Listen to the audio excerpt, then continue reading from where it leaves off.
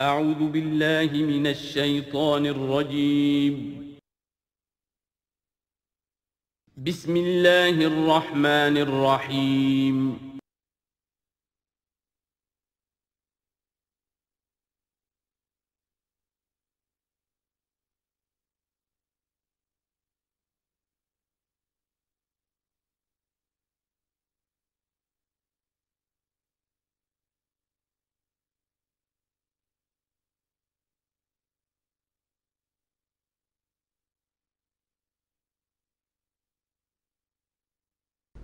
الحمد للہ الحمد للہ وکفا والصلاة والسلام على عباده الذین اصطفى خصوصا على افضلهم وخاتم النبیین محمد الامین وعلى آلہ وصحبہ اجمعین۔ اما بعد، فقد قال اللہ تبارک وتعالی کما ورد فی سورة الاحزاب۔ اعوذ باللہ من الشیطان الرجیم، بسم اللہ الرحمن الرحیم۔ یا ایوہ الذین آمنوا اذکروا نعمت اللہ علیکم اس جاءتکم جنود فارسلنا علیہم ریحا وجنودا لم تروها وکان اللہ بما تعملون بصیرا۔ صدق اللہ العظیم۔ رب اشرح لي صدري ويسر لي امري واحلل عقدة من لساني يفقهوا قولي. اللهم ربنا الهمنا رشدنا واعذنا من شرور انفسنا. اللهم ارنا الحق حقا وارزقنا اتباعه، وارنا الباطل باطلا وارزقنا اجتنابه. اللهم وفقنا لما تحب وترضى. اللهم ربنا آنس وحشتنا فی قبورنا ورحمنا بالقرآن العظیم۔ اللہم اجعلہ لنا اماما ونورا وہدا ورحمہ اللہم ذکرنا منہما نسینا وعلمنا منہما جہلنا۔ وارزقنا تلاوتہ آناء اللیل واطراف النہار۔ واجعلہ لنا حجتا یا رب العالمین۔ آمین۔ سورہ احزاب کے پہلے رکوع کا ہم ترجمہ کر چکے ہیں اور میں بتا چکا ہوں آپ کو کہ اس کا جو مضامین کا سلسلہ ہے وہ اب چوتھے رکوع کے ساتھ جڑے گا۔ درمیان میں جو دو رکوع آئے ہیں، دوسرا اور تیسرا، یہ دونوں غزوہ احزاب کے ضمن میں ہیں۔ غزوہ احزاب کا بھی جو کچھ مختصر سا تاریخی پس منظر اور اس کے حالات میں آپ کو بتا چکا ہوں۔ کہ اللہ تعالیٰ نے ایسی سچویشن پیدا فرما دی کہ جس میں مسلمانوں کے لیے شدید ترین اور سخت ترین امتحان ہو گیا۔ جو میرا اپنا اندازہ ہے، واللہ عالم، ذاتی اعتبار سے جس قدر شدید معاملہ حضور کے ساتھ ہوا ہے طائف میں۔ ذاتی اعتبار سے ظاہر بات ہے کہ وہاں شخصاً آپ پر ہوئی جاتی جو ہوئی ہے اور ایک بہت بڑا امتحان۔ اجتماعی سطح پر مسلمانوں کے لیے اسی شدت کا امتحان اور اسی اسی درجے کی آزمائش جو ہے، وہ غزوہ احزاب کے موقع پر آئی ہے۔ بارہ ہزار کا لشکر آ کر مدینہ کو گھیر کر پڑ گیا ہے۔ اور یہ کہ مدینہ میں نہ صرف یہ کہ کل نفری تین ہزار کی ہے جس میں منافقین بھی ہیں، پھر یہ کہ ان کی پشت پر وہ ایک قبیلہ جو ہے، یہود کا بنو قریضہ ابھی تک اس نے بدہدی نہیں کی تھی، لیکن اب پورا اندیشہ تھا کہ بدہدی کرے گا۔ اور وہ چنانچہ اسی محاصرے کے دوران میں اس نے بدہدی کی بھی، اور ان کی سلسلہ جنبانی ہو بھی گئی تھی، باہر سے آنے والے جو حملہ آور تھے ان کے ساتھ۔ بہرحال اس صورتحال میں جبکہ رسد کی بہت کمی تھی، شدید قحط کی کیفیت تھی، شدید سردی کا موسم ہے، سردی میں ویسے بھی انسان کو غذا کی زیادہ ضرورت ہوتی ہے۔ اس حال میں پھر خندق کھودنی پڑی مسلمانوں کو۔ تو یوں سمجھیے کہ جو شدید ترین امتحان ہو سکتا تھا وہ اللہ نے لے لیا، جس کا نتیجہ کیا نکلا؟ جو منافق اپنے دلوں میں نفاق کو چھپائے ہوئے تھے، وہ نفاق ظاہر ہو گیا، ان کی زبانوں پر آ گیا۔ اور یہی اصل میں آزمائش کا اصل مقصود ہے۔ لیمیز الطیبہ من لیمیز الخبیث من الطیب، کہ اللہ تعالیٰ خبیث کو اور طیب کو علیحدہ علیحدہ کر دے، ممیز کر دے۔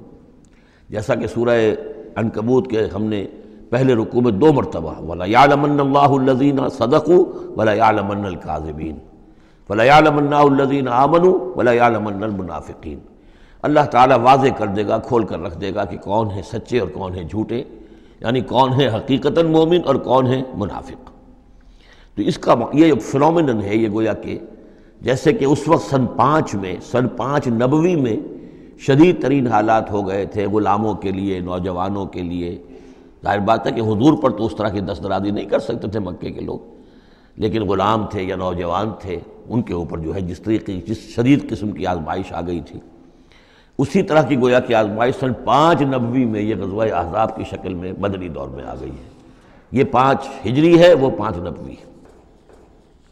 یا الذین آمنوا اذکروا نعمت اللہ علیکم، اہل ایمان، یاد کرو اللہ کے اس انعام کو جو تم پر ہوا۔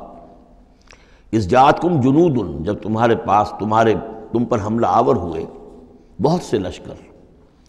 بنو غطفان آئے، بنو سزارہ آئے مشرق کی طرف سے، اور جنوب اور مغرب کی طرف سے جو ہے چلے آ رہے ہیں قریش۔ اور ان کو جو ہے پوری سپورٹ حاصل ہے شمال سے یہود کی۔ ان میں وہ کہ بنو نظیر بھی ہیں، کہ جو مدینہ ہی سے نکالے گئے تھے، اور اس کے علاوہ یہ کہ خیبر کے یہودی بھی ہیں۔ فارس اللہ علیہم ریحن تو جب وہ لشکر آ گئے تم پر حملہ آور ہوئے، تو ہم نے ان پر ایک آندھی بھیج دی، ایک تیز جھکڑ بھیج دیا۔ بجنود لم تروہا وہ آندھی تو تم نے بھی دیکھی کہ آندھی آئی ہے، لیکن یہ کہ اور لشکر بھی ہم نے اتارے تھے جو تم نے نہیں دیکھے یعنی فرشتے۔ وکان اللہ بما تعملون بصیرہ اور جو کچھ تم کر رہے تھے، اللہ اسے دیکھ رہا تھا۔ کون اب کس کے منہ پر، کس کی زبان پر نفاق آ گیا ہے؟ کس کا ایمان اور پختہ ہو گیا ہے۔ تو یہ ایک جملے میں گویا کہ پوری داستان کو تو اللہ نے سمو لیا۔ بیس پچیس دن تک محاصرہ رہا اکا دکا مبارزت ہوئی۔ عمر ابن عبد ود آیا۔ وہ ان کا بہت ہی پورے عرب کا معنی ہوا جو ہے، وہ شہ سوار بھی تھا اور بہت بڑا وہ لڑاکا آدمی، نوے برس کی عمر۔ لیکن یہ کہ اس کے مقابلے میں آنے کی کوئی ضرورت نہیں کرتا تھا۔ جب وہ آیا ہے اور اس نے اپنے گھوڑے کو وہ ایڑ لگائی ہے کہ چھلانگ مار کر پوری جو تھی وہ خندق اس کو اس کو پار کر کے آ گیا اور اکیلا ادھر آ کے کھڑا ہو گیا کہ آؤ، کوئی ہے تمہارا مقابلہ، وہ جو مجھ سے کر سکے۔ بہرحال سب لوگ ششتر حیران کہ اب اس کے مقابلے میں کون جائے۔ بالآخر حضرت علی نکلے رضی اللہ تعالیٰ عنہ۔ تو حضرت علی نے اس سے کہا، بلکہ اس نے کہا، میرے مقابلے میں جو کوئی بھی آتا ہے، میری عادت ہے یہ کہ میں اسے پہلے تین مواقع دیتا ہوں کہ وہ کوئی درخواست مجھ سے کرے جو منظور کر لوں۔ حضرت علی نے کہا، میری پہلی درخواست یہ ہے کہ تم ایمان لے آؤ۔ کہا، نہیں نہیں، یہ نہیں ہو سکتا۔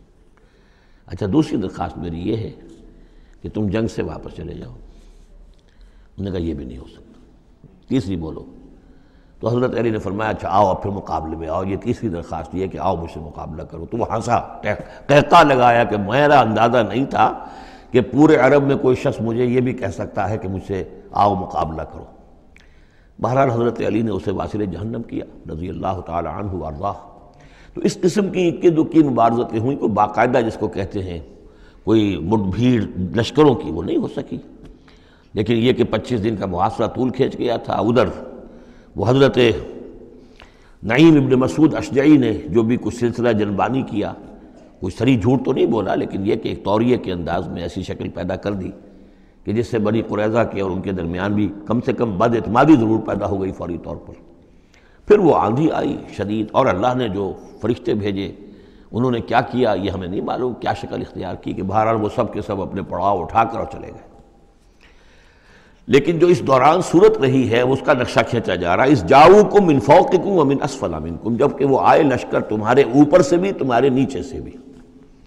یہ جو جغرافیائی جو سلسلہ ہے عرب کا میں نے کئی دفعہ آپ کو بتایا ہے کہ شمالاً جنوباً یہ جو حجاز کا پہاڑی سلسلہ چلتا ہے شمالاً جنوباً اسی میں مکہ ہے، طائف ہے، مدینہ ہے، اسی کے آخر میں اوپر جا کر تبوک ہے۔ تو اس پہاڑی سلسلے اور ساحل کے درمیان ایک میدان ہے، یہ تہامہ کہلاتا ہے، تہامہ نیچے ہے۔ بھارت میدان ہے وہ، تو اب پہاڑی سلسلہ آیا۔ پھر یہ کہیں تیس میل، کہیں چالیس، کہیں پچاس میل چوڑا جو یہ پہاڑی سلسلہ اس کے بعد جو آتا ہے، وہ سطح مرتفع ہے، وہ اونچی سطح ہے۔ لیکن مرتفع، اس میں پہاڑی سلسلہ نہیں ہے، سطح ہے۔ تو اس جاؤ کو من فوق کم تو گویا کہ جو ادھر سے آئے ہیں، وہ اوپر سے آئے ہیں، جو مشرق سے آئے بنو غطفان وغیرہ کے جو قبائل آئے اور من من اسفل من کم نیچے سے، جو تہامہ کی طرف سے ہو کر آئے ہیں، وہ قریش کا لشکر جو ہے کہ جو مکے سے ہو کر آیا ہے۔ وہی زاغت الانصار اور جبکہ نگاہیں کج ہو گئی تھیں، جسے ہم کہتے ہیں کہ نگاہیں پتھرا گئیں خوف کے بارے وہ بلغت القلوب الحناجرہ اور جب دل جو ہے، وہ حلق میں آ گئے تھے، ہنسلیوں میں آ کر پھنس گئے تھے۔ جب آدمی کے اوپر دہشت ہو، تو اس طریقے سے معلوم ہوتا ہے، جسے ہم کہتے ہیں دل بلیوں اچھلنے لگا۔ تو معلوم ہوتا ہے جب دل کی دھڑکن تیز ہوتی ہے، کہ شاید وہ نکل جائے گا یہاں سے۔ وہ تجنون اب اللہ ضرون اور تم پھر اللہ کے بارے میں بڑے طرح طرح کے گمان کر رہے تھے۔ اب دل میں تمہارے خیال آ رہے تھے۔ ہنال کب تلی المومنون اس وقت اہل ایمان کا خوب امتحان لے لیا گیا۔ ابتلا خوب ہم نے کر لی، جانچ لیا، پرکھ لیا۔ وزلزلو زلزال شدید اور وہ ہلا مارے گئے جھجوڑ دیے گئے۔ وہی یقول المنافقون اب نتیجہ کیا نکلا؟ جبکہ کہہ رہے تھے وہ منافق، والذین فی قلوبہم مرض اور جن کے دلوں میں روگ تھا۔ ما وعدنا اللہ ورسولہ اللہ غرورا۔ ہم سے اللہ اور اس کے رسول نے جو وعدے کیے تھے جھوٹے ثابت ہوئے۔ ہمیں سبز باغ دکھا کے مروا دیا اللہ نے اور اس کے رسول نے۔ ہم سے کہا تھا کیسر و کسرا کی سلطنتیں تمہارے قلبوں میں آئیں گی۔ ہم سے کہا تھا اللہ کی مدد آئے گی۔ یہ کہاں اللہ کی مدد آئی؟ بعض منافقین نے کہا ہمارا حال تو یہ کہ ہم قضاء حاجت کے لیے باہر نہیں جا سکتے۔ ہم مدینہ کے اندر محصور ہو گئے ہیں۔ ظاہر بات ہے کہ سینیٹیشن کا بھی کوئی نظام نہیں تھا، کس قدر وہاں پر اس سے ایک مسئلہ پیدا ہو چکا ہو، باہر نکل نہیں سکتے بالکل۔ تو قضاء حاجت وغیرہ بھی وہی ہو رہی ہے۔ یہ ان کے منہ پر جو ہے، ان کی زبانوں پر جو اندر کا خبز تھا، اندر کی گندگی تھی، زبانوں پر آ گئی۔ ما وعدن اللہ و رسول اللہ غرورا۔ نہیں وعدہ کیا تھا ہم سے اللہ اس کے رسول نے، مگر جھوٹا، دھوکے کا وعدہ۔ وَإِسْ قَالَ طَائِفَةٌ مِّنْهُمْ، يَا أَهْلَ يَسْرَبْ اور جبکہ ان میں سے ایک گروہ یہاں تک کہہ رہا تھا، اے یسرب والو، لا مقام لکم فرجعو اب تمہارا کوئی ٹھکانہ نہیں ہے، لوٹ جاؤ یہاں سے، کہاں تم مقابلہ کر سکتے ہو؟ یہ بارہ ہزار کا لشکر آ گیا کوئی ممکن ہے؟ کوئی امکان تمہیں نظر آتا ہے؟ تو کسی طریقے سے کہیں سے بھاگنے کے لیے راستہ تلاش کرو۔ وہ استاد فریقم منہم النبیہ اور ان میں سے ایک گروہ جو ہے آ کر نبی سے اجازت طلب کر رہا تھا۔ یقول ان بیوتنا اورا اور وہ کہہ رہا تھا کہ ہمارے تو گھر کھلے پڑے ہوئے ہیں۔ یعنی گھروں کو اندیشہ ہے، گھروں کے اوپر پیچھے سے بنو قریضہ کے لوگ حملہ آور ہو جائیں۔ ہماری عورتیں وغیرہ جو ہم نے چند چند حویلیوں کے اندر جن کو جمع کیا ہے، آپ نے یہی کیا تھا حضور نے صلی اللہ علیہ وسلم۔ خواتین کو، بچوں کو ایک ایسی جگہ پر کہ جہاں وہ وسطی علاقہ تھا، مدینہ کا، اور وہاں بڑی کوئی حویلی تھی، اس میں جمع کر دیا تھا۔ تو وہ تو ہمیں تو اندیشہ ہے، ہمارے گھر خالی پڑے ہوئے ہیں، اس کے اوپر حملہ ہو سکتا ہے۔ وما ہی اب اور حالانکہ وہ نہیں کھلے پڑے ہوئے تھے۔ اللہ تعالیٰ نے اور اللہ کے رسول نے پہرے وغیرہ کا بندوبست کیا ہوا تھا۔ ان یریدون اللہ فرارا، حقیقت میں وہ فرار چاہتے تھے، بھاگنا چاہتے تھے۔ یہ تو بہانہ تھا جو بنا رہے تھے۔ اصل میں جنگ سے پیٹھ دکھا کر بھاگنا مقصود تھا۔ وَلَوْ دُخِلَتْ عَلَيْهِ مِنْ اَقْتَارِهَا اور اگر کہیں داخلہ ہو ہی گیا ہوتا دشمن کا اس مدینے کے اندر، اس کے چاروں طرف سے ثُمَّ يُسُئِلُ الْفِتْنَةَ تھا اور پھر ان سے مطالبہ کیا جاتا فتنے کا یعنی ارتداد کا۔ اگر یہ مشرقین کی فوجیں جو ہیں کہیں خدا نخواستہ مدینے میں داخل ہو جاتی، اور اب وہ کہتی کہ یا تو مرتد ہو جاؤ اور یا تمہیں قتل کرتے ہیں۔ تو وہ ماں ماں طلب بسو اللہ لاتا وہ اس فتنے کو قبول کر لیتے، مرتد ہو جاتے وہ ماں طلب بسو بہا اللہ یسیرا، اور تھوڑی سی دیر بھی نہ لگاتے۔ بہت ہی تھوڑا سا وقفہ۔ یعنی وہ ایمان ان کے دلوں میں اس کی جڑیں گہری تھی ہی نہیں، تو وہ مرتد ہونے کے لیے تیار تھے۔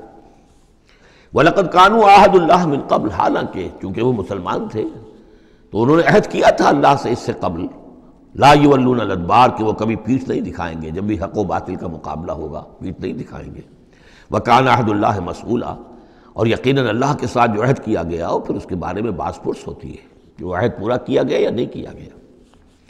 قل لن ينفعكم الفرار وان فررتم من الموت۔ اے نبی، ان سے کہہ دیجیے کہ تمہیں یہ بھاگنا اور فرار مفید نہیں ہو سکتا اگر تم موت سے بھاگ رہے ہو۔ اب القتل یا قتل سے۔ اس لیے کہ موت تو ہر جگہ آ سکتی ہے۔ وَإِذَا اللَّهَ تُمَتَّعُونَ إِلَّا قَلِيلًا۔ اور آج موت نہ آئی، فرض کیجیے، اس موقع پر نہ آئی۔ تب بھی آخر دنیا میں کوئی سامان رسنے بسنے کا جو ہے، رہنے کا وہ آخر لا محدود تو نہیں ہے۔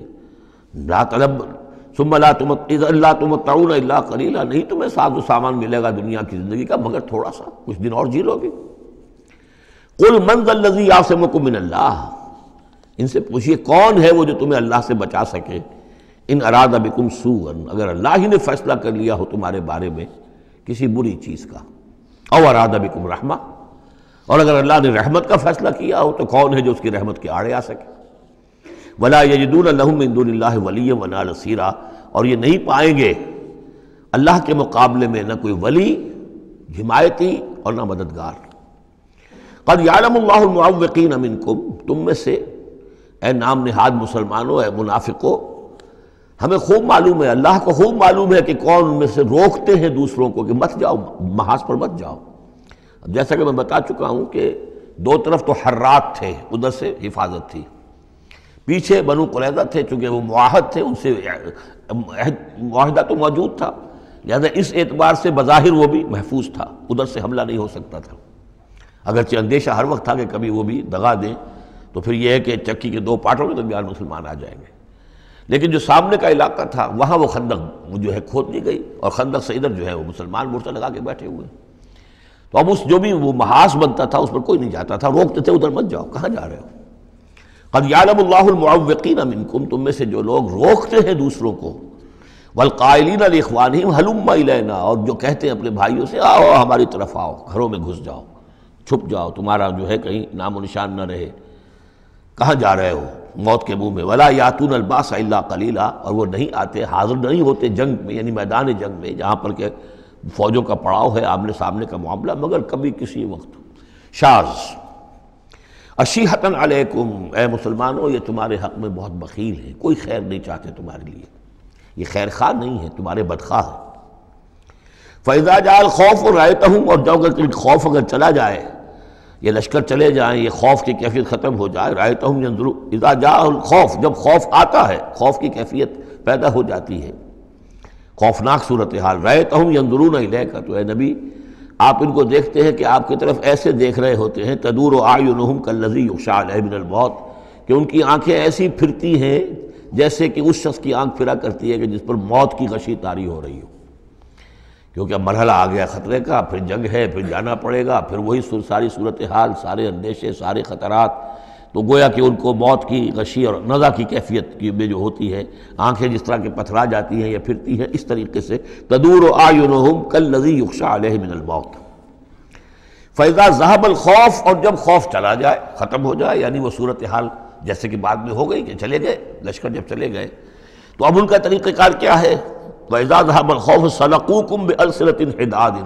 اب وہ تم پر پل پڑتے ہیں اپنی لوہے کی زبانوں کے ساتھ یعنی زبانیں قینسیوں کی طرح چلنی شروع ہو جاتی ہیں۔ مسلمانوں پر تنقید بھی ہے، اپنے ایمان کا اظہار بھی ہے چرف زبانی بھی ہے۔ تو حداد لوہے کی، جیسی جیسے کی زبانیں لوہے کی ہوں، تو ہمارے محاورے میں قینسی کی طرح زبان کا چلنا۔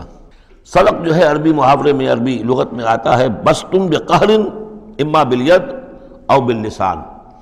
کسی کے پر حملہ اول ہونا یا ہاتھ سے یا زبان سے۔ تو سلقوکم بالسنت حداد اشیحت الخیر اور پھر جو بھی کوئی مال غنیمت ہوگا، اس کے اوپر یہ ایسے ہوں گے، جھکے پڑیں گے کہ مال سارا ہمیں ہی مل جائے۔ اولائک لم یومنو یہ وہ لوگ ہیں کہ جو حقیقتا ایمان نہیں لائے۔ فاحبت اللہ اعمالہم تو اے نبی، انہوں نے اس کیفیت میں جو بھی کوئی نیکیاں کی ہیں، بظاہر نیکیاں، آپ کے امامت میں نمازیں بھی تو پڑھی ہیں نا انہوں نے۔ آخر مدینہ منورہ میں وہ نمازیں پڑھتے تھے منافق۔ کس کی امامت میں؟ محمد الرسول اللہ کی امامت میں۔ کس مسجد میں؟ مسجد نبوی میں۔ لیکن ان کے سارے اعمال حمت ہو گئے۔ فاحمت اللہ اعمالہ اللہ نے ان کے تمام اعمال اکارت کر دی وکان ذالک علی اللہ یسیرا۔ اور یہ چیز اللہ پر بہت آسان ہے۔ یا سبون الحضاب علم یزبو جبکہ جا چکے ہیں لشکر، ان کا حال یہ ہے کہ ان کے اوپر ابھی تک خوف تاری ہے۔ جیسے ہوتا ہے کہ کسی بڑے حادثے کے بعد بھی بہت دیر تک آساب کے اوپر جو ہے وہ ایک طرح کی کپ کپی تاری رہتی ہے انسان کے سنسناٹ سی رہتی ہے، اتنا بڑا حادثہ ہوا ہے۔ یا سمون الحضاب علم یہ سمجھتے ہیں کہ وہ گئے نہیں ہیں، کہیں ادھر چھپ گئے ہوں، کہیں پھر دوبارہ آ رہے ہوں، کہیں حملہ دوبارہ تو نہیں کر رہے ہیں۔ یہ کوئی ان کی ٹیکٹیکل موو تو نہیں تھی کہ ذرا پیچھے ہٹ کے پھر حملہ آور کریں۔ یا سمون الحضاب علم یہ سمجھتے ہیں کہ وہ لشکر گئے نہیں ہیں۔ وہی یات الحضاب اور اگر کہیں دوبارہ وہ لشکر جو ہیں، وہ فوجیں جو ہیں، دوبارہ کہیں حملہ آور ہو جائیں یود اللہ بادون فی العراب، تو ان کی بڑی خواہش ہوگی، کاش کہ ہم مدینہ کو چھوڑ کر کہیں ریگستانوں میں چلے گئے ہوتے اور کہیں نخلستانوں میں جا کر آراب آراب کی حیثیت کے ساتھ ہم ہم ان کے ساتھ چلے گئے ہوتے، بادیہ نشینوں کے پاس یا سلون کا نم بائکم، اور وہاں سے اے مسلمانوں تمہاری خبریں معلوم کرتے رہتے۔ اب کیا ہوا؟ اونٹ کس کروٹ بیٹھا؟ ولا کانو فیکم ما قاتل اللہ کلیلہ اور اگر یہ تمہارے درمیان موجود بھی رہے تو قتال میں تو حصہ نہیں ہو لیتے۔ مگر شاس دکھانے کے لیے، خانہ پوری جسے ہم کہتے ہیں۔ اب ایک کردار تو یہ ہے جو سامنے آ گیا۔ دوسرا کردار کیا ہے؟ لقت کان لکم فی رسول اللہ اسوت الحسنہ دوسرے کردار کا جو دوسری تصویر ہے، اس کا جو خورشید ہے، سورج ہے، وہ محمد الرسول اللہ کا کردار ہے۔ فرمایا، اے مسلمانوں، تمہارے لیے اللہ کے رسول میں ایک اسوا ہے، نمونہ ہے، بہترین نمونہ۔ اب یہ بات نوٹ کرنے کی ہے کہ یہ آیت ہمارے ہاں سیرت کی تقاریر ہوں، کوئی میلاد کی محفلیں ہوں، کوئی واز ہو، تو اس میں بہت پڑھی جاتی ہے یہ آیت اسوا حسنہ۔ لیکن عام طور پر ہمارے یہاں اسوا حسنہ کیا ہے؟ چھوٹی چھوٹی سنتیں، ان کا تذکرہ ہوگا۔ مسواک کرنا بھی اسوا ہے، ٹھیک ہے ہے۔ اسی طریقے سے اور سنتے ہیں۔ مسجد میں داخل ہوں تو دہنا پاؤں آگے آنا چاہیے، بایاں نہیں، ٹھیک ہے۔ ہونا چاہیے، ایک شخص کو کرنا چاہیے، اہتمام کرنا چاہیے۔ حضور کا یہی معمول تھا۔ یہ سب بھی اسوے میں شامل ہے اصل اسوا یہ ہے، کفر کے مقابلے میں جان ہتھیلی پر رکھ کر میدان میں آنا، یہ ہے اسوا۔ یہ اسوا ہماری نگاہوں سے ہو جل محمد الرسول اللہ کا مثالی کردار کس اعتبار سے؟ جب بھوک تھی شدید، حضور کو بھی بھوک تھی اور فاقہ تھا۔ جب صحابہ نے آ کے شکایت کی کہ حضور ناقابل برداشت ہو گئی ہے یہ بھوک۔ دیکھیے ہم نے اپنے پیٹوں پر پتھر باندھے ہوئے ہیں۔ تاکہ یہ کہ میدے کو وہ جو ہنگر کنٹریکشنز ہوتی ہیں وہ نہ ہو اس کو کم سے کم جھوٹا ہی صحیح ایک دلاسا ہو کہ کچھ بوجھ ہے میرے اوپر۔ وہ بوجھ چاہے پتھر کا ہو، کھانے کا نہ ہو۔ یہ سب پتھر باندھے ہوئے کمر دوہری نہ ہو جائے ہماری۔ حضور نے اپنا کرتا اٹھا کے دکھایا، وہاں دو پتھر بندھے ہوئے۔ اور اسی حال میں جب جب صحابہ کدالیں چلا رہے ہیں اور کھود رہے ہیں، تو حضور جو ہے اپنے کندھے پر بڑے بڑے پتھر اٹھا کر لے جا کر اور باہر پھینک رہے ہیں۔ اسی میں آپ شریک ہیں پوری طریقے سے۔ یہ ہے اسوا ایسا نہیں تھا کہ بس حضور تو کہیں ایک جگہ بیٹھے ہوں اور خیمہ لگا ہو اور مور چھل چلے جا رہے ہوں۔ سمجھے آپ؟ اور سب ٹھنڈی چھاؤں آپ کو فراہم کی گئی ہو اور باقی سب لوگ جو اس کام میں لگے ہوئے ہیں۔ یہ اسوا ہے محمد کا صلی اللہ علیہ وسلم۔ لقد کان لکم فی رسول اللہ اسوت الحسنہ اسی کو میں کہا کرتا ہوں جدید اصطلاح میں۔ ایک ہے میکرو اکنامکس اور ایک ہے مائکرو اکنامکس تو مائکرو سنت کو تو لوگ جانتے ہیں، یہ سنت ہے، یہ سنت ہے، اس میں سے بعض کے بارے میں بڑے جھگڑے بھی ہیں، رفع دین سنت ہے یا نہیں ہے، لیکن میں اس طرح اس مسئلے پر نہیں جا رہا ہوں۔ لیکن میکرو سنت جو ہے، سب سے بڑی سنت جو ہے، وہ تو یہ ہے کہ وہی کے آغاز کے بعد سے لے کر چالیس برس کی عمر کے بعد سے لے کر حضور نے ایک لہجہ، ایک منٹ معاش کی جد و جہد میں صرف نہیں کیا۔ پوری زندگی، پورا وقت، پوری توانائی، پوری قوت۔ دعوت دین، اقامت دین۔ دین کی، دعوت دین کی اقامت اسی میں لگائی۔ کوئی جائیداد نہیں بنائی، کوئی کاروبار۔ حالانکہ اس سے پہلے آپ بہت کامیاب تاجر تھے، کاروبار کرتے تھے۔ لیکن جب یہ فرض منصبی آ گیا، یا یو المدثر قم فانزر وربک کا فکبر، اب یہی کام ہے۔ تو کچھ تو اس کی بھی پیروی کرنے کی کوشش کی جائے۔ اس درجے میں نہ صحیح، وہ عکس تو ہو۔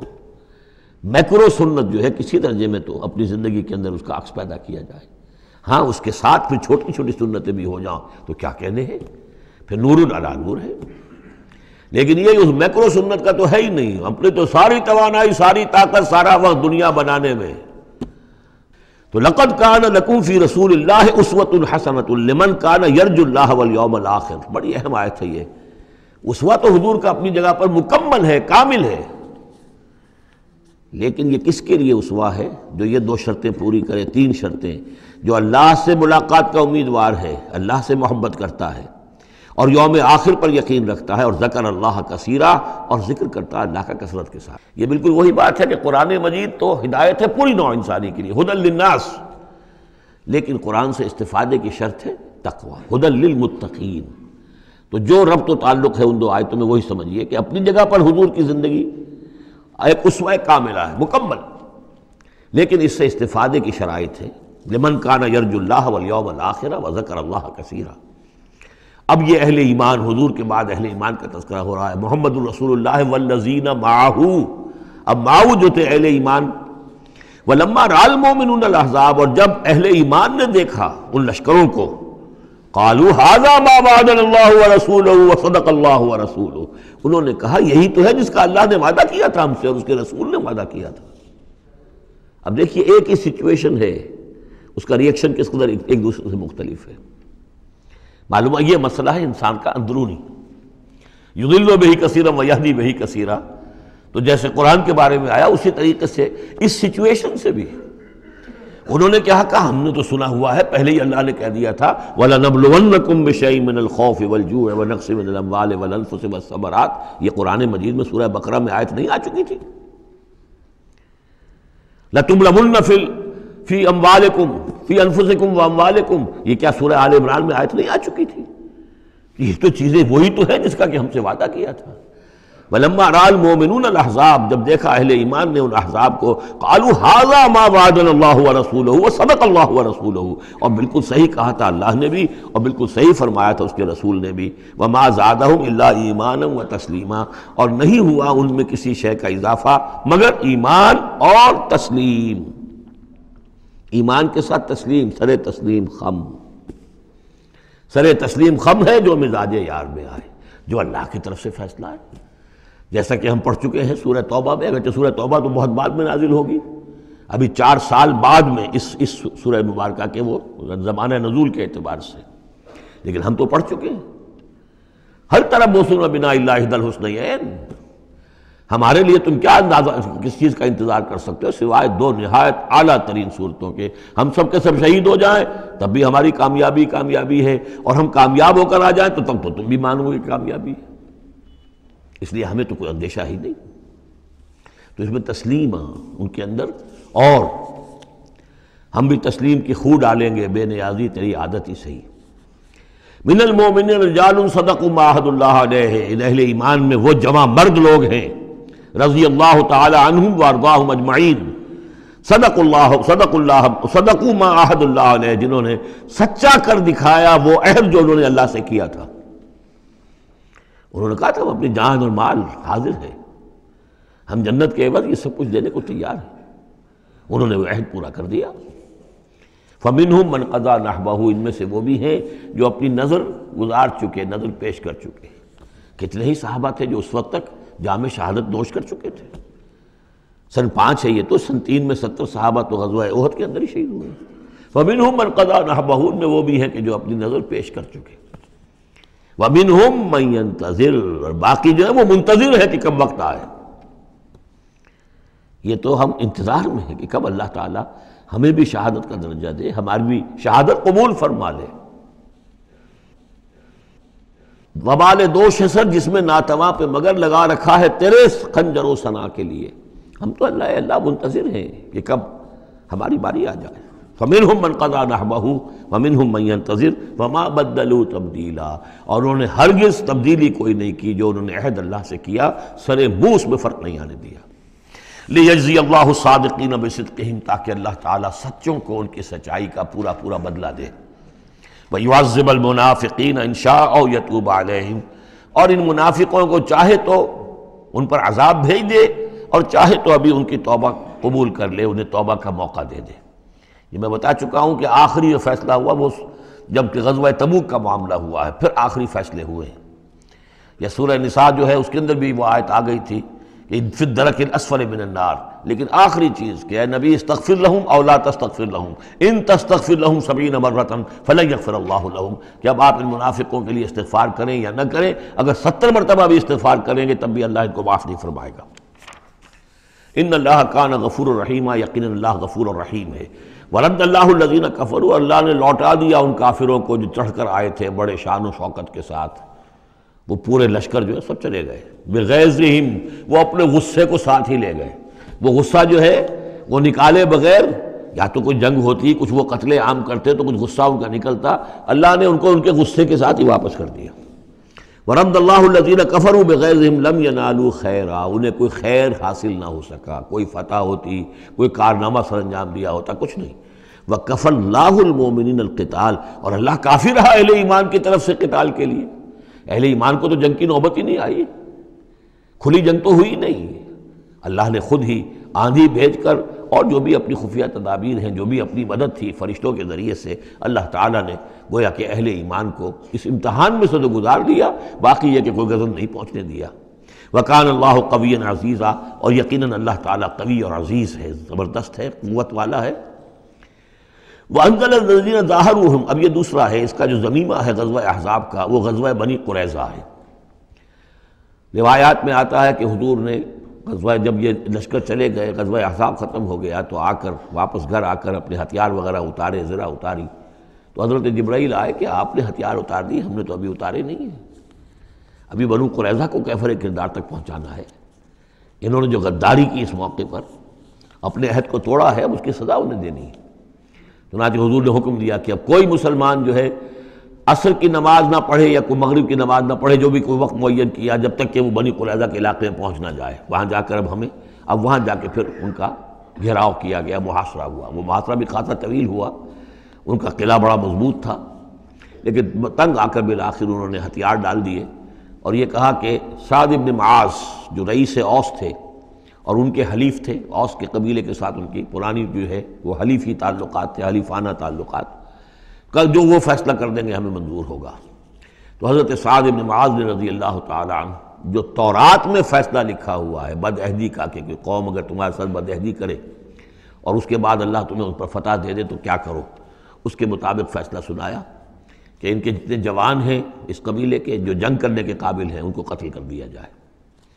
اور باقی جو ان کے بوڑھے ہوں یا اور ہوں، مرد ہوں، بچے ہوں، عورتیں ہوں، ان کو جو ہے غلام بنا لیا جائے ان کا سارا مال ضبط ہو جائے گا۔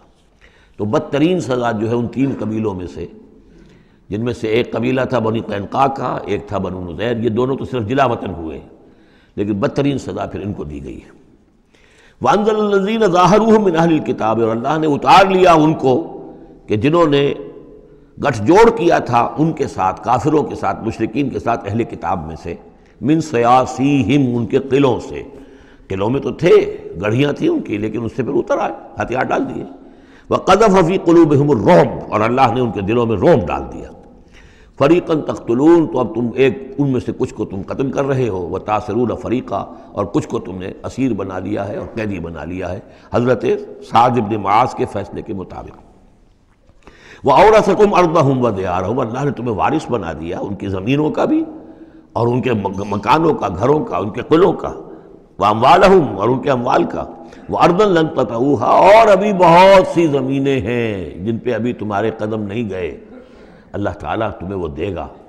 چنانچہ اس کے بعد اللہ نے فتح دینی جو شروع کی ہے، غزوہ اعذاب جو ہے، در حقیقت یہ ایک ٹرننگ پوائنٹ تھا حضور کی سیرت کے اندر۔ اس لیے کہ اس کے بعد حضور نے کہہ بھی دیا تھا غزوہ احداب کے بعد، صحابہ کو خوشخبری دے دی تھی۔ لن تغزو کم قریش بادہ عام کم حاضہ مسلمانوں اس سال کے بعد اب قریش تم پر دوبارہ حملہ آور نہیں ہوں گے۔ ان کی آخری یہ اٹیمپٹ تھی جو انہوں نے کر لی ہے۔ اب ان میں ہمت نہیں ہوگی کہ وہ دوبارہ چڑھائی کر کے آئیں۔ ولاکنکم تغزونہم بلکہ اب تم چڑھائی کرو گے۔ وہ چڑھائی اگلے ہی سال سن چھ میں حضور نے کی، لیکن حضور نے کس طرح کی چڑھائی کی کہ عمرے کے لیے جا رہے ہیں ہم تو؟ ہتھیار نہیں ہے، ہتھیار بند ہے، احرام باندھا ہوا ہے۔ اب ایک ایک ایسی سچویشن پیدا ہوئی مکے والوں کے لیے، نہ وہ نگلا جائے نہ اگلا جائے، کہ ان کی پرانی روایات ہیں یہ کہ کسی کو بھی عمرے کے لیے، حج کے لیے کوئی آئے کوئی آئے، اسے نہیں روک سکتے۔ لیکن مسلمانوں کو کیسے آنے دیں؟ اور روکے تو کیسے روکیں بالآخر انہوں نے فیصلہ کیا، ہم کسی ضرورت نہیں آنے دیں گے۔ ادھر حضور نے پھر جو ہے بیعت لے لی کہ اب یہاں سے ہم کوئی بھی زندہ نہیں جائے گا، سب جانے یہیں دے دیں گے۔ بیعت الموت، بیعت رضوان جو ہوئی اس موقع پر، وہ بیعت الموت تھی۔ یہیں پر جانے دے دیں گے۔ اس کی خبریں وہاں پہنچی تو ان کے چھکے چھوٹ گئے۔ بہرحال پھر صلح ہوئی۔ جس صلح کو کہا ہے اللہ تعالیٰ نے، انا فتح نہ کا فتح مبینہ تو فتح کا جو ہے دروازہ کھل گیا ہے غزوہ احزاب کے فوراً بعد۔ اور اسی کی طرف اشارہ ہے وہ ارض لم تتوہا ابھی بہت سی زمینیں جن پر ہے مسلمانوں تمہارے قدم نہیں پہنچے، تمہارے قدم نہیں پہنچے ابھی تم نے گھوڑے نہیں دوڑائے ہیں، ابھی وہ تو زمینیں۔ اب کہاں سے کہاں تک آپ سمجھیے کہ تیس سال کے اندر اندر کہاں سے کہاں تک مسلمانوں کی حکومت ہو گئی؟ تو وہ سارا اشارہ اس میں ہے، خاص طور پہ خیبر سن سات میں یہودیوں کا گڑھ پتہ ہو گیا۔ وکان اللہ علیہ کل شعین قدیرہ اور اللہ تعالیٰ ہر چیز پر قادر ہے۔ اب یہاں سے وہ مضمون شروع ہو رہا ہے کہ جو پہلے رکوع میں تھا۔ کچھ جو مجلسی اصلاحات ہیں، یوں سمجھیے کہ ان کی پہلی قسط وہ ہے جو سورہ احزاب میں آ رہی ہے۔ پانچویں سال۔ عرب میں پردے کا رواج نہیں تھا۔ چادر کا رواج تھا مرد بھی عورت بھی۔ باہر جب نکلتا تھا تو ایک لمبی سی چادر لے کر۔ لیکن یہ کہ مردوں کے صرف کندھے پر وہ پڑی ہوتی تھی، عورتیں بھی۔ عورتیں یہ ضرور تھا کہ اسے اپنا تقریباً پورے جسم میں وہ لپیٹ لیتی تھی اس میں۔ لیکن چہرے کا کچھ نہیں، سر پہ کچھ نہیں۔ سر پر اگر ہو گیا ہو گیا، ورنہ چہرہ کھلا۔ یہ وہاں کے رواج تھے۔ گھروں میں بے دھڑک جا رہے ہیں، آ رہے ہیں۔ اور جو بھی تھا وہاں پر جو صورت حال تھی۔ اب اس میں جو تدریجن اصلاح کی گئی تو پہلی بات جو سمجھنے کی ہے وہ یہ ہے کہ اصلاح کا آغاز ہوا چیریٹی بگنز ایٹ ہوم نبی کے گھر سے آغاز کیا گیا۔ اور نبی کی بیویوں کو سب سے پہلے مخاطب کیا گیا۔ اس لیے کہ یہاں سے اس کا آغاز ہوگا اور اس میں ایک بڑا لطیف نقطہ یہ ہے کہ حضور صلی اللہ علیہ وسلم جو اسوہ حسنہ ہے کامل۔ تو مردوں کے لیے تو کامل اسوہ حسنہ ہے حضور صلی اللہ علیہ وسلم۔ باپ کی حیثیت سے، بیٹے کی حیثیت سے، داماد کی حیثیت سے، خسر کی حیثیت سے۔ قاضی القضات کی حیثیت سے، سپہ سالار کی حیثیت سے ہیڈ آف دی اسٹیٹ کی حیثیت سے، امام کی حیثیت سے، خطیب کی حیثیت سے، معلم کی حیثیت سے، مربی اور مزکی کی حیثیت سے، جتنی حیثیتیں آپ گن سکتے ہیں، حضور کی سیرت میں اسوا موجود ہے ایک پہلو سے اسوے میں کمی ہے، اور وہ کمی کیا ہے؟ عورتوں کے جو خاص نسوانی معاملات ہوتے ہیں، اس میں تو حضور اسوا نہیں بن سکتے حضور تو مرد ہیں۔ تو عورتوں کی زندگی کا ایک حصہ ہے کہ نہیں؟ تو عورتوں کے لیے اسوا کون ہے؟ وہ آپ کے ازواج متحرات کو اسوا بنایا جا رہا ہے۔ اس لیے اصلاح کا عمل ان سے شروع کیا گیا۔ اور ان کو گویا کہ کہہ دیا گیا کہ تم تم اگر نیکی کرو گی دوہرا اجر پاؤ گی۔ کیوں؟ کہ تمہیں تو دیکھ کر تمام مسلمان خواتین نے جو ہے تمہارے نقش قدم کی پیروی کرنی ہے۔ اور خدا نے خاصا تم نے کوئی غلط حرکت کی تمہیں دوہری سزا ملے گی۔ اس لیے کہ تم تو ان کے لیے اب اسوا ہو۔ تو گویا کہ اسی سورہ مبارکہ میں حضور کے بارے میں آیت آئی ہے۔ لقد کان لکم فی رسول اللہ عصوت الحسنہ۔ لیکن حضور کے اس اسوے میں جو ایک پہلو سے کمی ہے کہ خواتین کے لیے ان کے جو مخصوص نسوانی معاملات ہیں، ان کے لیے حضور کی شخصیت میں اسوا نہیں ہے۔ اس خلا کو پر کیا ہے ازواج متحرات کے ذریعے سے۔ یا نبی کل ازواج کا اے نبی، کہہ دیجیے اپنی بیویوں سے، ان کن تن تردن الحیات دنیا وزینتہا فتعالین امتعکن وصرحکن سراحا جمیلا۔ یہ واقعہ ایلہ ہے۔ اب آپ کو معلوم ہے کہ جب مسلمانوں کے ہاں اب خوشحالی آ گئی، اب فتح کا دور شروع ہو گیا، مال غنیمت بھی آیا ہے، تو عام مسلمانوں کے گھر میں خوشحالی ہو گئی، تو ازواج متحرات برمنائے طب بشری، ان کی طرف سے بھی ایک تقاضا آیا کہ اب ہمارا بھی نفقہ، ہمارا خرچہ کچھ بڑھایا جائے۔ اس مطالبے کو حضور نے اتنا ناپسند کیا کہ قسم کھا لی کہ ایک مہینے تک میں گھر میں، کسی گھر میں نہیں جاؤں گا، کسی اپنی اہلیہ محترمہ سے ملاقات نہیں کروں گا۔ اور مسجد کے ساتھ ہی ایک بالا خانہ سا تھا، اس میں آپ نے اپنا جو ہے وہ قیام کر لیا۔ تو ایک طوفان بچ گیا مدینے میں۔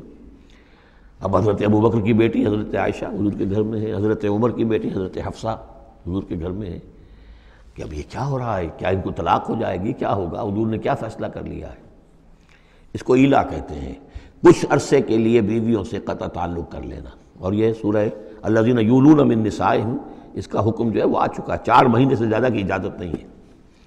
لیکن یہ کہ بہرحال یہ جب حضور نے کیا تو اس کے بعد پھر یہ آیات نازل ہوئیں۔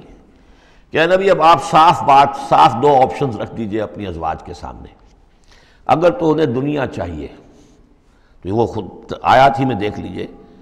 ان کن تلنا تردن الحیات دنیا کہ اگر تو تم چاہتی ہو دنیا کی زندگی، اس کی زیبائش اور آرائش، وزینتہا فتح آؤ۔ امت کنہ میں تمہیں مال و متا دے دوں گا وہ اوسر سراہن جمیلا پھر مجھے میں اپنے گھر سے تمہیں رخصت کر دوں گا خوبصورتی کے ساتھ۔ لیکن یہ کہ پھر تم میرے گھر میں نہیں رہ سکتی پھر میں اپنے ہاتھ سے تمہیں رخصت کر دوں گا۔ وہ ان کن تن تردن اللہ رسول اور اگر تم طالب ہو اللہ کی اور رسول کی، ان کی رضا چاہتی ہو۔ وہ دار الآخرہ اور بجائے اس دنیا کے تم آخرت کا گھر جو ہے، اس کی طالب بن جاؤ۔ فعن اللہ عدل محسنات منکم محسنات منکم اجر عظیمہ تو اللہ تعالیٰ نے تم جیسی نیک بیویوں کے لیے اللہ تعالیٰ نے بہت بڑا عجر جو ہے وہ فراہم کیا ہے، تیار کیا ہے۔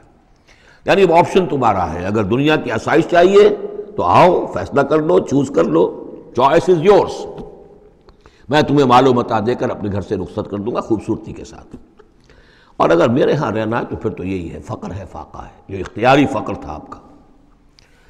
اس میں ظاہر بات واقعہ یہی ہے کہ جب یہ بات رکھی گئی، سب سے پہلے حضرت عائشہ نے کہا، میں تو اللہ اور اس کے رسول کو کو منتخب کرتی ہوں۔ اور ایک ایک کر کے تمام ازواج نے یہ کہا، اپنے تمام مطالبات سے وہ دستبردار ہو گئی۔ اور پوری زندگی اس طرح گزری ہے کہ کبھی دو وقت جو ہے چولہا گرم نہیں ہوا ہے محمد کے گھر میں صلی اللہ علیہ، کسی بھی گھر میں، کسی بھی زوجہ محترمہ کے گھر میں۔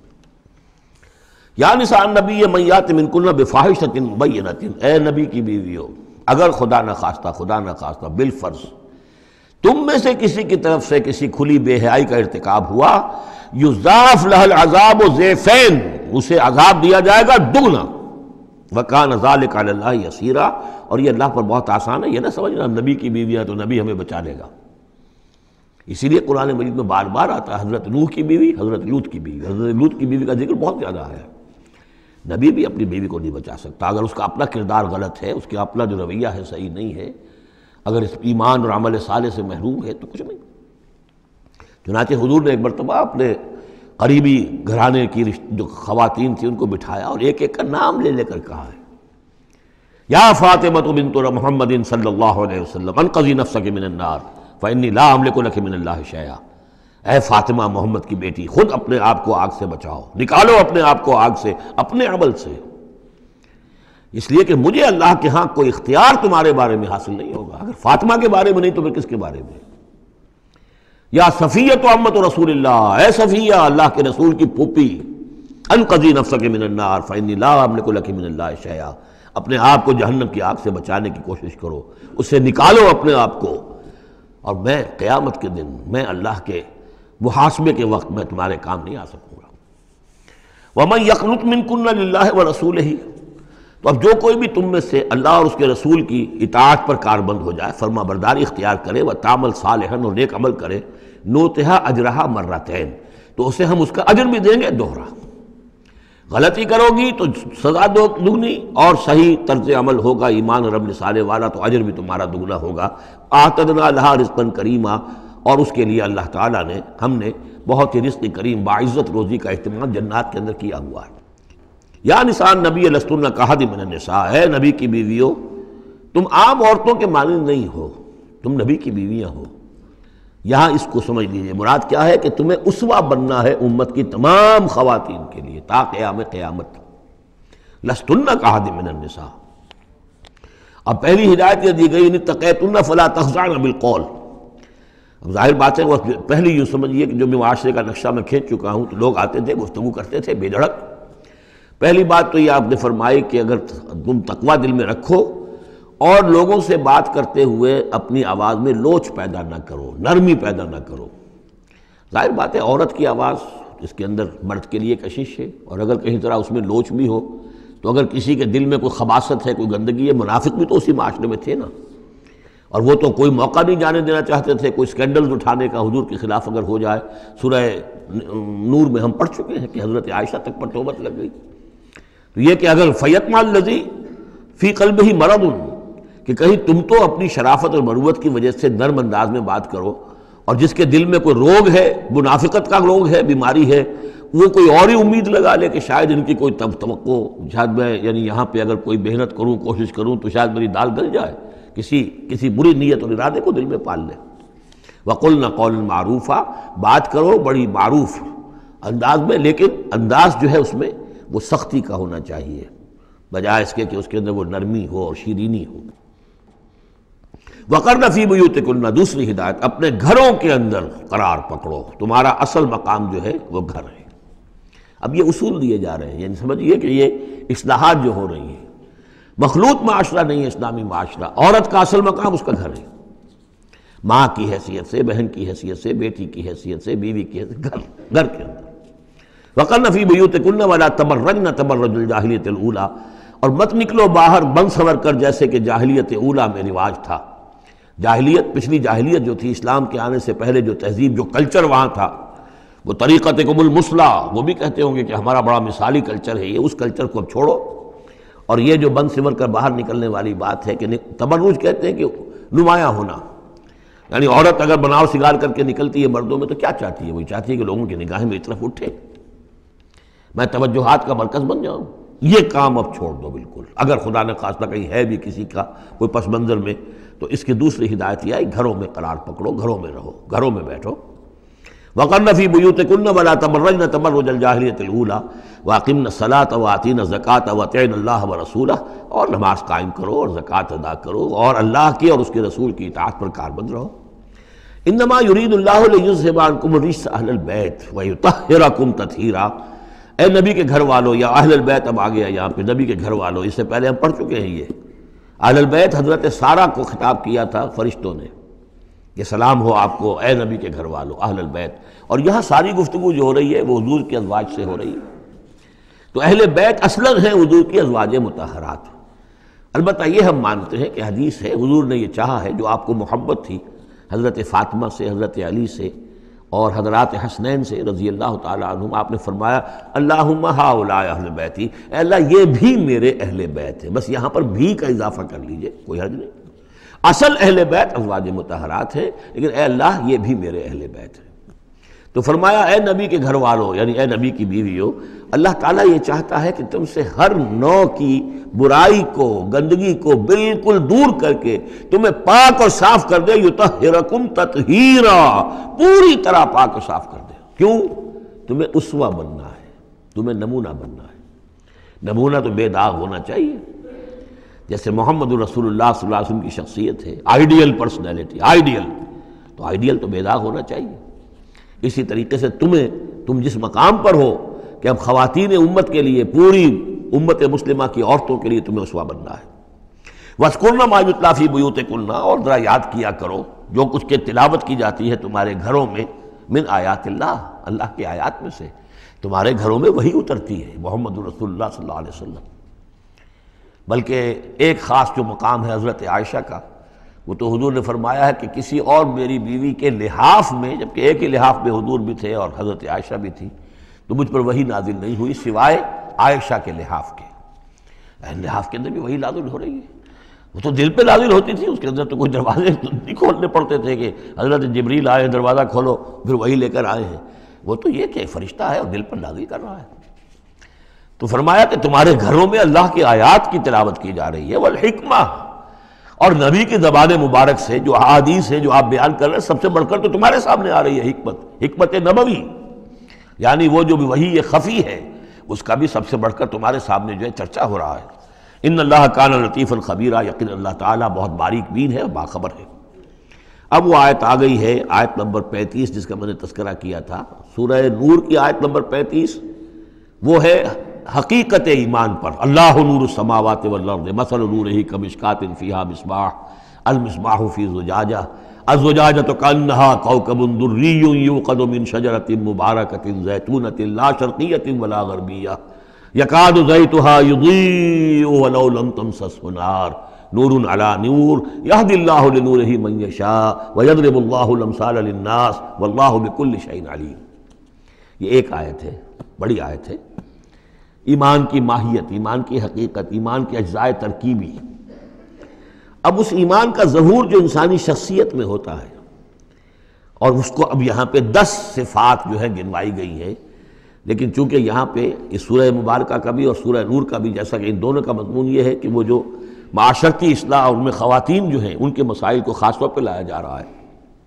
تو عام طور پر تو قرآن میں یہ ہے کہ جو حکم بھی ہے وہ مذکر کے سیغے میں آ جاتا ہے، مردوں سے خطاب کر کے، لیکن عورتیں بھی اس کی مخاطب ہیں، اسے برصبیر تغلیب کہتے ہیں، قاعدہ ہے۔ کہ بظاہر خطاب ہے عقیم الصلاح، مذکر کا سیغہ ہے، لیکن یہ خطاب جو ہے، یہ عورتوں سے بھی ہے۔ اللہ یہ کہ ابھی ہم نے پڑھا عقیم نصلاح کا یہ یہاں مونس کے اس میں بھی آ گیا، لیکن عام طور پر قرآن میں جو آیا ہے، وہ تو مذکر کا سیغہ ہے۔ لیکن یہاں آپ دیکھیں گے کہ ان کیفیات کو اور خصوصیات کو، جو ایمان کے ثمرات و نتائج ہیں، ان کو دہرا دہرا کر مردوں اور عورتوں کے لیے علیحدہ علیحدہ، بالکل پوری سراحت کے ساتھ۔ ان المسلمین والمسلمات، یقیناً مسلمان مرد اور مسلمان عورتیں یعنی اطاعت کر لینے والی، سر تسلیم قلب کرنے والے مرد اور عورتیں۔ والمومنین والمومنات اور مومن مرد اور مومن عورتیں، والقانتین والقانتات۔ اور فرما بردار مرد اور فرما بردار عورتیں، والصادقین والصادقات۔ اور راست باز مرد اور راست باز عورتیں۔ صدق قول بھی، صدق مقال اور صدق عمل، صدق کردار۔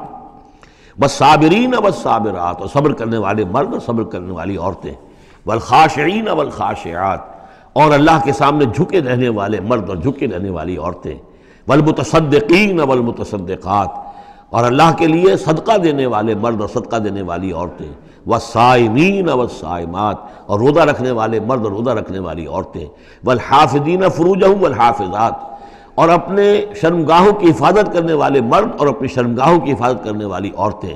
بس ذاکرین اللہ کثیرم و ذاکرات اور کثرت کے ساتھ اللہ کا ذکر کرنے والے مرد اور ذکر کرنے والی عورتیں۔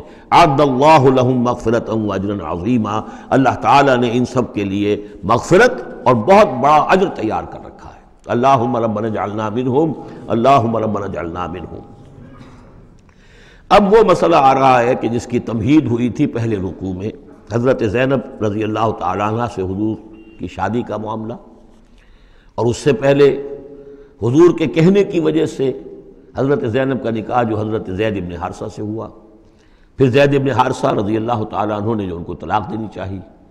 پھر حضور کے دل میں جو یہ خیال ہوا کہ میں نے پہلے تو حکم دے کر نکاح پر مجبور کیا، اب اگر یہ داغ لگ جاتا ہے زینب کو تو گویا کہ پھر تو ایک ہی شکل رہ جائے گی اس کی دل جوئی کی، تلافی کی کہ میں خود نکاح کروں۔ اب میں خود نکاح کروں گا تو چونکہ زید میرا منہ بولا بیٹا رہا ہے پہلے، ایک طوفان اٹھ کھڑا ہوگا۔ حالانکہ اس میں بات کوئی نہیں تھی، لیکن یہ کہ حضور نے اس کی وجہ سے یہ سمجھا کہ یہ مسلحت کے خلاف ہوگا۔ تو اسی گویا کہ آپ اسی ششپنج میں تھے کہ یہ آیات نازل ہو گئی پہلی آیت میں تذکرہ ہے اس کا کہ جو حضور کے کہنے کی بنا پر حضرت زینب اور ان کے بھائی آمادہ ہوئے نکاح پر، ورنہ وہ آمادہ نہیں تھے زید ابن حارثہ سے نکاح پر۔ وما كان لمؤمن ولا مؤمنة اذا قضى الله ورسوله امرا ان يكون لهم الخيرة من امرهم یہ کسی بھی مومن مرد اور کسی بھی مومن عورت کے لیے یہ روا نہیں ہے کہ جب اللہ اور اس کا رسول کسی شے کا فیصلہ کر دیں، تو پھر بھی انہیں یہ خیال ہو کہ ہمارے پاس آپشن باقی ہے، ہمیں اختیار حاصل ہے۔ وَمَنْ يَعْصِ اللَّهَ وَرَسُولَهُ فَقَدْ ضَلَّ ضَلَالًا بَعِيدًا جو اللہ اور اس کے رسول کی نافرمانی کریں گے، انہوں نے تو گویا کہ بہت بڑی گمراہی جو ہے وہ حاصل کر لی۔ تو یہ گویا کہ ایک تو یہ کہ اس کو عام ہم لیں گے تو یہ ہر ہر معاملے کے اوپر ہے کہ اللہ اور اس کے رسول کے فیصلے کے بعد پھر میں یہ سمجھوں کہ میرے پاس کوئی آپشن ہے تو اس کا مطلب ہے کہ میں اللہ کا انکار کر رہا ہوں، رسول کا انکار کر رہا ہوں۔ پس منظر میں وہی ہے کہ حضور کی فرمائش جو تھی ابتدان تو چونکہ امیمہ ابن عبد المطلب حضور کی پھپھی تھیں، جن کی بیٹی ہیں حضرت زینب۔ اب یوں سمجھیے کہ قریش کا اونچا خاندان ہے۔ اور ادھر یہ ہے کہ حضرت زید ابن حارثہ غلام رہے ہیں، اگرچہ تھے شریف خاندانوں میں سے عرب کے، لیکن کبھی انہیں کہیں پکڑ کر کہیں کسی نے لا کر غلام بنا کر بیچ دیا تھا، تو داغ تو لگ گیا غلامی کا۔ اور اس معاشرے میں وہ داغ پھر دھلتا نہیں تھا ایک دفعہ۔ ایک دفعہ لگ جانے کے بعد۔ تو اس وجہ سے اب انہوں نے حضور کے لیے، حضور کے فرمانے کی وجہ سے نکاح کیا۔ اس کے بعد نہیں، ان کی نہیں بھی آپس میں۔ اور اس میں گمان غالب یہ ہے کہ حضرت زینب انہیں وہ نہیں دے سکیں احترام اور ادب اور ان کی مرضی پر چلنے کا معاملہ، جیسا کہ ایک عورت کو فصالحات و قانتات الحافظات للغیب، جو رویہ ہونا چاہیے، اب وہ اپنے جذبات اور احساسات کے اوپر اس درجے جو ہیں وہ کنٹرول نہ کر سکیں۔ لہذا ان کے مابین جو ہے وہ موافقت نہیں ہوئی۔ تو حضرت زید نے کئی دفعہ کہا کہ حضور میں پھر ان کو فارغ کر دینا چاہتا ہوں، طلاق دینا چاہتا ہوں۔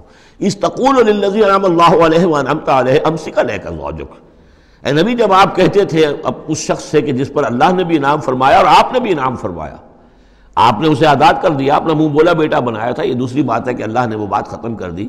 یہ تو زید ابن محمد کہلاتا تھا، اب یہ زید ابن حادثہ رہ گیا دوبارہ۔ آپ اس سے کہتے رہے، ہم سے کا لے کر زوجک نہیں، اپنی بیوی کو روکے رکھو، گھر میں آباد رکھو۔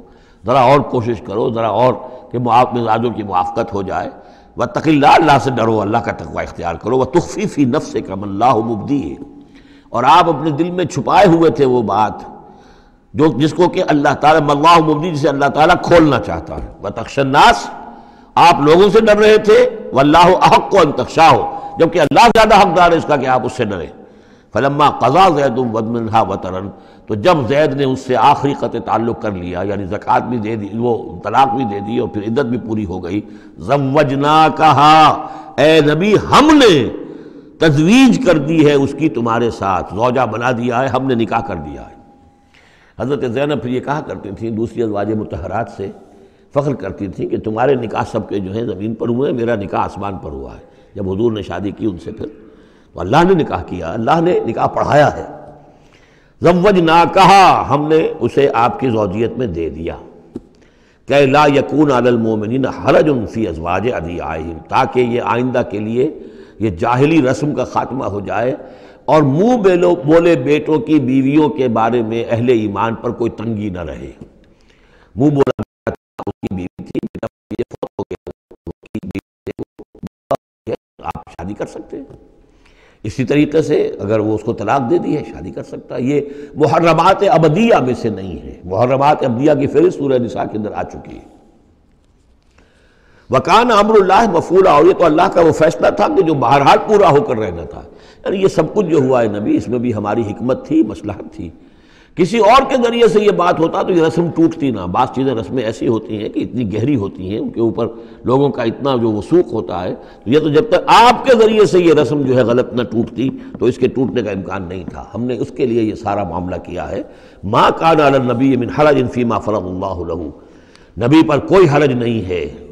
کوئی مذائقہ نہیں ہے اس چیز میں جو اللہ نے اس کے اوپر عائد کر دی ہے، فرض کر دی ہے۔ سنت اللہ الذین سنت اللہ فی الذین خلو من قبل۔ اور یہ اللہ کا وہ طریقہ ہے جو ان لوگوں کے بارے میں رہا جو پہلے گزر چکے اللہ کے نبیوں کے ساتھ، رسولوں کے ساتھ اللہ کا یہی معاملہ رہا ہے۔ وکان امر اللہ قدرم مقدورہ اور یہ تو اللہ کا وہ معاملہ تھا کہ جو گویا کہ طے تھا، مقرر ہو چکا تھا، ہماری مشیت میں یہ پہلے سے طے تھا۔ الذین یبلغون رسالات اللہ ہے وہ اللہ کے نبی کہ جو ہم اللہ کے پیغامات کو پہنچانے پر معمور ہوتے ہیں، وہ یکشون اور صرف اسی سے ڈرتے ہیں، ولا یکشون احدن الا اللہ، اور نہیں ڈرتے کسی اور سے اللہ کے سوا۔ وہ کفا بلّہ حسیبہ اور اللہ تعالیٰ کافی ہے کفایت کرنے والا یا حساب لینے والا۔ ماں کان محمد البا احد من رجالکم۔ دیکھو، محمد تم میں سے کسی مرد کے باپ نہیں ہے حضور کو اللہ تعالیٰ نے اولاد نرینہ نہیں دی، جو دی تھی بچپن ہی میں اسے اٹھا لیا۔ آخری عمر میں بھی یوں سمجھیے کہ حضرت ماریہ قبطیہ، ان سے، ان کے بطن سے حضرت ابراہیم کی ولادت ہوئی ہے اور یہ ایک عجیب مسئلہ ہے کہ حضرت ابراہیم کے عقد میں یا آپ کے نکاح میں آئیں حاجرہ وہ بھی مصر کی تھیں جن سے اسماعیل کی ولادت ہوئی۔ اسماعیل کی نسل میں حضور ہیں صلی اللہ علیہ وسلم۔ پھر مصر ہی سے ایک ماریہ قبطیہ آ رہی ہیں۔ اور ان کے بطن سے جو بیٹا ہوا اس کا نام حضور نے ابراہیم رکھا۔ اور حضور کو بہت محبوب بھی تھا، لیکن وہ بہت ہی چھوٹا حصہ تھا، بچپن میں ہی فوت ہو گیا ہے۔ اور حضور کو اس کا افسوس بھی ہوا۔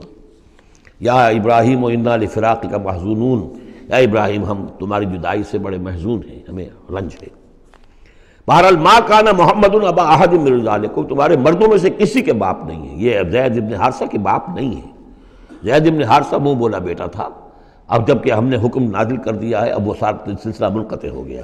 ولاکن رسول اللہ و خاتم النبیین، بلکہ یہ اللہ کے رسول ہیں اور نبیوں کی مہر ہیں۔ اب نبوت ختم ہو رہی ہے ان پر۔ اب کوئی نبی آنے والا نہیں۔ لہذا جتنی بھی رسومات جاہلیت کی تھیں، اگر ان کے ذریعے سے وہ ختم نہ ہو، تو پھر کس کے ذریعے سے ختم ہوگی؟ یہ ہے اس میں جو دلیل مضمر ہے کہ یہ جو کڑوا گھونٹ ہے محمد صلی اللہ علیہ وسلم تو آپ کو کرنا ہی تھا۔ اس لیے کہ یہ جاہلانہ رسمیں جو ہیں اگر آپ اس کے اندر یہ اقدام نہ کرتے اور آپ نے اپنے منہ بولے بیٹے کی بیوی سے اگر شادی نہ کی ہوتی تو یہ رسم ختم نہیں ہو سکتی تھی اور یہی بات بتائی جا رہی ہے لوگوں کو ماں کان محمد البا احد کو ولاکن رسول اللہ و خاتم النبیین۔ وہ تو اللہ کے رسول ہیں اور خاتم النبیین۔ اب اس میں ایک بڑا باریک نقطہ ہے، وہ نوٹ کر لیجیے۔ رسالت حضور کی دائم و قائم ہے، چل رہی ہے ابھی تک۔ فرق صرف یہ ہے کہ اس وقت تک براہ راست آپ بنفس نفیس اپنی رسالت کے فرائض ادا کر رہے تھے۔ اب بائی پروکسی ہے، اب امت کے ذریعے سے ہے۔ جو بھی آپ کے امتی ہیں، جو بھی دین کے خادم ہیں، جو بھی قرآن کے پیغام کو پہنچا رہے ہیں، جہاں جہاں تک پہنچا رہے ہیں، وہ رسالت محمدی کا پیغام پہنچ رہا ہے۔ رسالت محمد کی ہے صلی اللہ علیہ وسلم۔ جیسے کہ ہم نے سورہ انعام میں آیت پڑھی تھی، اوہی الیہ حاضر قرآن لانذرکم بہی ومن بلغ. اے نبی ان سے کہہ دیجیے، یہ قرآن مجھ پر وہی کیا گیا ہے تاکہ اس کے ذریعے سے میں تمہیں بھی خبردار کر دوں اور جسے بھی یہ قرآن پہنچ جائے۔ اسی لیے امت کو آپ ہدایت دے کر گئے تھے فل یبلغ شاہد الغائبہ اب یہ تمہارا کام ہے اس قرآن کی تبلیغ کرو اور پہنچاؤ۔ جو بھی یہاں نہیں ہے ان تک پہنچاؤ۔ تو گویا کہ رسالت محمدی ختم نہیں ہوئی ہے، رسالت محمدی تو چل رہی ہے۔ لہذا ختم کا لفظ جو آیا ہے، وہ رسالت کے ساتھ نہیں آیا، نبوت کے ساتھ آیا۔ نبوت ختم ہو گئی، جب وہی کا دروازہ بند ہو گیا، نبوت ختم ہو گئی۔ نبوت محمدی آپ کی ذات کے ساتھ تھی۔ وہ جیسے ہی آپ کی ذات جو ہے، وہ اس دنیا سے اس نے پردہ کیا، اس کے ساتھ ہی آپ کی وہ نبوت کا دروازہ بند ہو گیا۔ لیکن رسالت محمدی وہ تو دائم و قائم ہے۔ اسی لیے یہاں دیکھیے ولاکر رسول اللہ ہے وخاتم النبیین۔ آپ تو اللہ کے رسول ہیں اور دائم ہیں اور قائم ہیں اور خاتم النبیین ہیں اور نبیوں کی مہر ہے وقان اللہ بک الشعین علیمہ اور یقینا اللہ تو ہر چیز کا علم رکھنے والا ہے۔ بارک اللہ علی ولکم فی القرآن العظیم۔ و نفانی ویاکم بالآیات و ذکر الحکیم۔